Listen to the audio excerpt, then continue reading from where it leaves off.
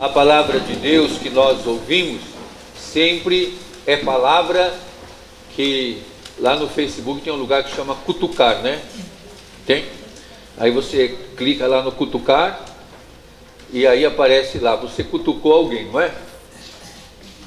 Você não tem? Você tem? Tem o cutucar. Então a palavra de Deus, e quando nós ouvimos a palavra de Deus, é que Deus entrou no nosso Face e mandou cutucar a gente. Está dando uma cutucada para ver se nós vamos acordando. Hoje, ao meio-dia, o Papa Francisco falou na Praça de São Pedro dizendo que a indiferença causa um abismo, cava um abismo entre as pessoas. E um abismo intransponível. A indiferença. Muitas vezes temos ouvido o Papa Francisco falar da globalização da indiferença. E nós vamos vivendo num mundo que não se atinge mais, que é indiferente, que se afasta do sofrimento. Vejam que hoje o Conselho de Segurança da ONU se reuniu, mas os comentaristas todos dizem que não vai acontecer nada devido à situação na Síria e Alepo a cidade que ainda foi mais bombardeada, que já está toda destruída, e vimos esses dias a imagem daquela criancinha de 5 anos sendo retirada dos escombros, morreu toda a família dela. Então, aquelas crianças, aquele povo que vive a situação de emergência hoje no mundo, junto com alguns outros países da África, como o Sudão, situações de guerra, de conflitos terríveis. E com toda a crise que nós estamos vivendo, as notícias do mundo econômico dizem a única indústria que não sabe que tem crise é a indústria das armas, que vai muito bem, só sobe, só aumenta o seu faturamento. Não teve nenhuma queda de faturamento e a indústria armamentista é a que melhor funciona. E aí capaz de ter gente que zomba, bom saber, né? Aí eu vou também fabricar umas bombas. Mas é a indústria armamentista a que vai tendo o maior desempenho. Vimos hoje ainda nos Estados Unidos mais um tiroteio que matou cinco pessoas. E com toda a situação de terrorismo, como é chamado, e toda a situação de medo que existe, no entanto, são esses países os que mais vendem armas. Se você vai ver quem são os maiores produtores e vendedores de armas, está os Estados Unidos, a França, a Inglaterra, até o Canadá e o próprio Brasil. As indústrias brasileiras fabricantes de armas vão muito bem, não tem desemprego lá, não tem crise, não tem prejuízo nenhum, porque essa indústria cresce. Pois temos até no Congresso brasileiro a chamada bancada da bala. Os deputados que são financiados pelas empresas fabricantes de armas para que não haja nenhum controle sobre a posse de armas e a fabricação de armas. Então, isso é uma coisa terrível. Essa indiferença, onde o lucro, o ganhar, o ter, é maior e mais importante que a dignidade da vida. O profeta Amós, que é um profeta camponês, que é um profeta que está do lado dos fracos, que está do lado dos que sofrem, ele diz: Ai dos que vivem despreocupadamente em Sião. Sião é a capital. Ai dos que vivem despreocupadamente e se sentem seguros nas alturas da Samaria.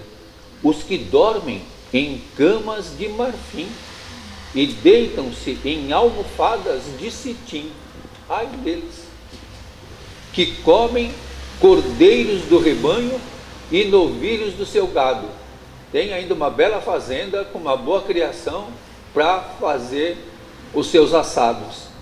Que cantam ao som das harpas e bebem vinho em taças e se perfumam com perfume francês. Né? Ai deles, que levam essa vida nesse luxo todo e, como diz aqui, e não se preocupam com a ruína de José. Não se preocupam com os pobres, com os fracos, com os pequenos. E diz o profeta Amós: na hora que eles forem para o exílio e que o poder deles acabar, eles vão ser os primeiros da fila a irem para o exílio. Porque são indiferentes ao sofrimento do povo. A indiferença é terrível. Ela é gelada. A indiferença mata, nega a presença do outro. E é isso que o profeta Amós está chamando, e é isso que o Papa Francisco diz: a indiferença cava um abismo intransponível. A beata Laura de Vicunha, uma menina santa de 12 anos, chilena e que morreu na Argentina, foi beatificada pelo Papa São João Paulo II. Ela dizia uma coisa muito bonita: que ninguém que passe por mim sinta indiferença. Que ninguém que passe por mim na minha vida sinta indiferença, mas se sinta sempre acolhido. O Evangelho de hoje nos chama bastante atenção. O Evangelho de hoje é essa cutucada que Deus manda para nós, dizendo que Jesus disse aos fariseus. Por que, que Jesus disse isso para os fariseus no capítulo 16, 19? Vejam que começamos, não, 16, no versículo 19. E no, um pouquinho antes, Jesus tinha contado aquela parábola do administrador desonesto, e quando Jesus vai dizer: Não podeis servir a dois senhores, não podeis servir a Deus e ao dinheiro. E os fariseus fizeram o quê? Caçoaram de Jesus. E diz o texto, porque eles eram amigos do dinheiro. Amigos do dinheiro. Quem é amigo do dinheiro, em geral, é indiferente a quem sofre. E eles caçoaram de Jesus. Por isso, Jesus conta para eles, conta para os fariseus. Quem são os fariseus? Os piedosos, religiosos, que disfarçam que são amigos do dinheiro e têm uma cara de muito bonzinho, mas que na verdade não querem saber dos pobres. E Jesus conta para os fariseus: havia um homem rico. No Evangelho de Lucas, quando ele fala havia um homem rico, vai acabar mal essa história. Três vezes ele conta essa história. Havia um homem rico, já outra parábola ele fala isso também. E é interessante, essa parábola é só de Lucas, só Lucas conta. Marcos e Mateus não contam essa parábola. É uma parábola que a gente chama lucana, que é só de Lucas. E é interessante que o homem rico não tem nome. Só diz o que ele fazia. Esse homem rico se vestia com roupas que diz aqui? Roupas finas. finas. Só usava grife. Agora nem sei qual é a grife da moda. Mas ele usava essa aí, que a gente não sabe qual é. Mas ele usava grifes e estava sempre elegante, da cabeça aos pés. Usava roupas finas. E o que mais que ele fazia? Esplêndidas festas, festas esplêndidas todos os dias. Que chique, né? Todo dia ele tinha uma esplêndida festa. Não era uma vez por semana, não, nem uma vez por mês, era todo dia. Todo dia ele estava nos grandes salões de festa ou nos grandes restaurantes, todos vestidos de grife. É assim que vivia esse homem rico, bem rico ele, né? E existia também quem? Um pobre. Só que esse pobre se chama Lázaro. Veja como que o Lucas é provocante. O rico não tem nome, o pobre tem. Chama-se Lázaro. Lázaro quer dizer Deus ajuda. Deus ajuda. É o Lázaro. E diz como é que esse Lázaro. O Lázaro não está vestido de roupas finas. Ele está vestido de quê? De feridas. Como Jó, de ferida desde o alto da cabeça até a sola do pé. Quem vivia assim, coberto de feridas, no judaísmo era considerado um maldito. Ele está sendo castigado. O rico ele é bom, por isso que ele está rico. E o pobre, porque não presta, é pobre. E ainda coberto de feridas, pagando pelo mal que fez. Então, um vestido com esplêndidas roupas de grife e outro vestidos de feridas. E um fazendo festas esplêndidas todos os dias e o outro no chão, na porta, querendo comer do que? A sobra que caía da mesa. É interessante essa sobra, não é o que sobrou da comida. As sobras no judaísmo, que cai da mesa, é o, o miolo do pão com o qual eles enxugam a mão. Eles usam o miolo do pão, a parte do pão, para enxugar a mão. E isso que era jogado. E era isso que o Lázaro esperava. O que estava caído lá. Então, vestido de feridas, comendo o que caía da mesa, e ainda por cima o que, que tinha lá? O cachorro fazendo o quê? Lambendo as feridas. No judaísmo, o cachorro é considerado o animal mais impuro, diferente da nossa cultura. No, no mundo judeu do tempo de Jesus, o cachorro não entra na casa. Ele é considerado um animal impuro, que cheira tudo, anda no meio da sujeira, come o que está pela rua, vive no meio da sujeira. Então, o cachorro é considerado um animal impuro. Então, o impuro lambendo o outro impuro. Impuro não no sentido moral, no sentido ritual. Eram pessoas que, pelo pecado, eram excluídas sem acesso a Deus. E que não podiam, o Lázaro, todo enfiridado, não podia entrar na sinagoga ele era considerado um excomungado, alguém que Deus não ama. Ninguém achava coitado do Lázaro, achava bem feito. Ele é assim porque alguma coisa ele fez. Deus não deu para ele riqueza, nem uma vida boa, porque ele não presta. Então ele é considerado um excluído, alguém que não serve para nada. Então aí está o quadro. Jesus pintou um quadro pesado, né? E o Lucas caprichou na descrição. Mas aí conta uma coisa surpreendente. A parábola sempre tem uma coisa surpreendente. O Lázaro morreu e o que aconteceu? Os anjos o levaram para o seio de Abraão.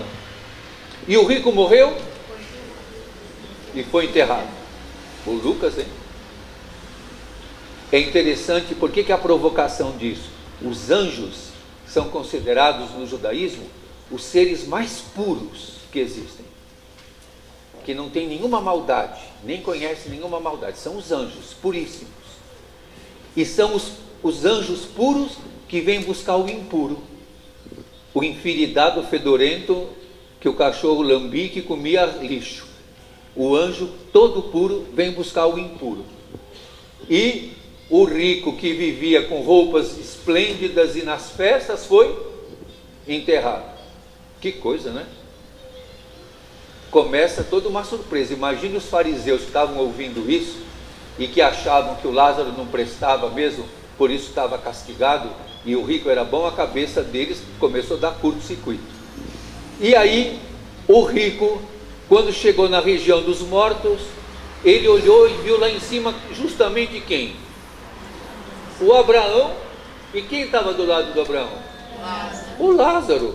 Se ele fosse italiano, ele ia falar, Caspa, então o que, ele está fazendo lá? Como é que ele foi parar lá? O, meu, o lugar lá é meu. Como é que o, o Lázaro foi lá? Quem tem que estar tá lá do lado do Abraão sou eu. E aí foi o Lázaro para lá. E aí vem esse diálogo inusitado. Porque o rico diz o quê? Pai Abraão, ele é piedoso, ele chama Abraão de pai. E o Abraão não o desconsidera, o chama meu filho. Ele não perde a filha, meu filho.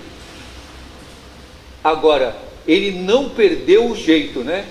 Ele diz, está lá no sofrimento e diz: Pai Abraão, tem piedade de mim, mas manda o Lázaro vir aqui pôr aguinha na minha língua. Folgado ele, né? Nem no sofrimento ele mudou, foi folgado ele, né? Manda ele vir aqui, né? pôr uma aguinha na minha língua, para me refrescar, porque eu estou sofrendo muito aqui. Vê como ele não perdeu o estilo de mandão. Manda ele aqui. E aí tem o abismo. E o que é interessante no texto, não diz que o rico, que tinha roupas finas e banquetes esplêndidos, fosse mau. Não diz que ele faz nenhuma maldade. E nem diz que o Lázaro fosse bom. Só diz que um era rico e como, e o outro era pobre e como. E deixa entender que o rico nunca olhou para o Lázaro, foi indiferente. Por isso que o abismo é tão grande. E o Abraão vai dizer: quem está aí não pode vir para cá, quem está aqui não pode ir para aí. E é interessante que o rico, apesar disso, continua no seu caminho e diz: Mas sabe o que é? Eu tenho lá na minha casa cinco irmãos que estão lá também na mesma situação que eu. Fala para ele lá avisar, para que eles não venham para cá. Dá um jeito lá na minha família, naqueles que são meus. E o Abraão vai dizer: Moisés mandou cuidar dos pobres, e os profetas também, eles que leiam. E o rico insiste. Mas sabe o que é, pai Abraão? Se um morto foi lá falar para eles, eles vão regalar os olhos tão assustados que eles vão mudar de vida. E o Abraão vai dizer: ah, ah, não vou mandar nenhum morto lá avisar. Porque mesmo que um dos mortos ressuscite, se eles não ouvem Moisés e os profetas, nem um morto ressuscitando, eles vão mudar de vida. Quem é o morto que ressuscitou? Jesus. O Lucas está escrevendo isso bem depois da ressurreição de Jesus. Vocês lembram logo de, no domingo à tarde da ressurreição de Jesus, dois discípulos dele estavam caminhando, indo para uma cidade chamada Emaús. E Jesus foi com eles o caminho inteiro. Eles conversaram o caminho inteiro e eles não viram que era Jesus. Lembra? Quem é que conta isso? Lucas. No final do Evangelho, ele conta que Jesus ressuscitado andou com os dois discípulos dele, o Cleófas e o outro discípulo, ou a, a mulher do Cleófas, a gente não sabe, só fala um outro, e eles não perceberam que era Jesus. Quando é que eles perceberam que era Jesus? Quando Jesus partiu o pão. Por isso, aqui na parábola diz: nem se um morto ressuscitar, eles vão acreditar. Jesus estava ressuscitado e eles não viam. Eles só viram Jesus quando o pão partiu. Só na partilha nós vamos ver Jesus. Só na partilha. Não tem outro jeito. É isso que o Evangelho está dizendo para nós. A indiferença, o individualismo nos levam para um abismo. Só a partilha, a solidariedade num mundo feito de misericórdia vai nos fazer ver Jesus. Por isso que Paulo diz para Timóteo: tenha coragem de fugir das coisas perversas, procure a justiça, a piedade, a fé, o amor, a firmeza, a mansidão, isto é, não busque o poder, não busque ter força, esteja firme na tua fé, mesmo que o caminho for difícil, combate um bom combate, permanece firme, não desanime. Nós não estamos procurando vencer, nós queremos ser fiéis ao amor de Jesus e segui-lo sempre, todos os dias da nossa vida. Amém.